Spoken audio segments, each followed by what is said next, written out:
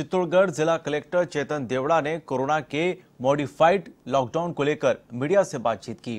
प्रेसवार्ता में कलेक्टर ने जरूरतमंद लोगों को दिए गए राशन और भामाशाहों द्वारा भोजन उपलब्ध करवाने की जानकारी दी। उन्होंने तीन मई तक मॉडिफाइड लॉकडाउन को लेकर जारी गाइडलाइंस के बारे में बताया।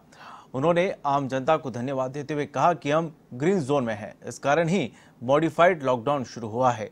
सरकार से नए दिशा निर्देश जारी हुए हैं। उसी बेस पर लॉकडाउन में छूट मिलेगी।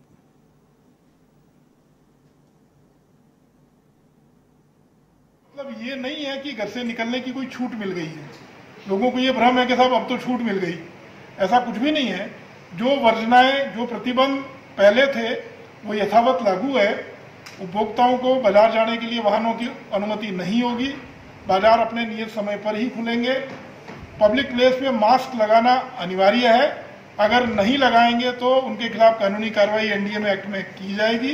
ये मैं अपील करूँगा आपके माध्यम से कि लोगों को इसका प्रचार करें, प्रसार करें और जो दुकानें अनुमत नहीं है और वो खुली पाएगी